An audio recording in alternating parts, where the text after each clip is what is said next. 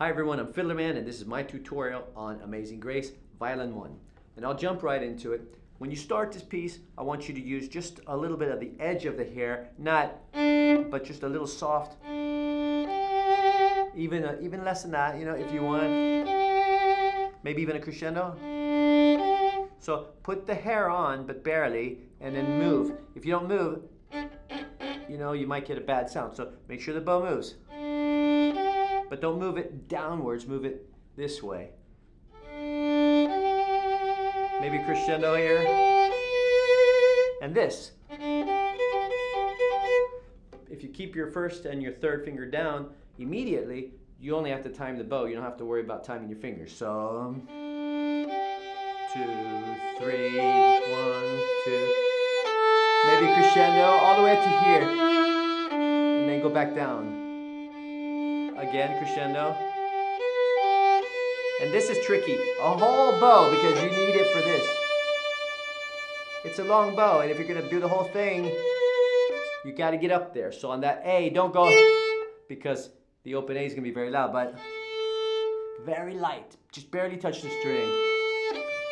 But here you have to play close to the bridge, as close as you can without getting this, you know, ponticello sound. And then going on.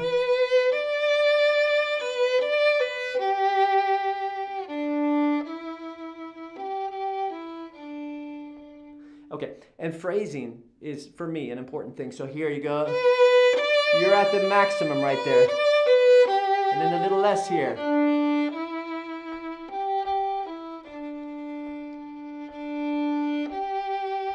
Again, put the fingers down. Unfortunately, when we play in a group, there'll be a click track. You can't be free. Because if you're more advanced, you may want to play in third position. Means you don't have to cross a string there. Uh, you can also play a, you don't have to play an open string. Or, and then shift here. Whatever. It really doesn't matter to me.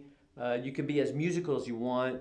Try not to be out of time though. Try to keep on the beat with the click track, just so we can play a beautiful orchestral, you know, tutti part, mix it really well. Um, what else? And once again, at measure eight, you have the climax. And then a little less here.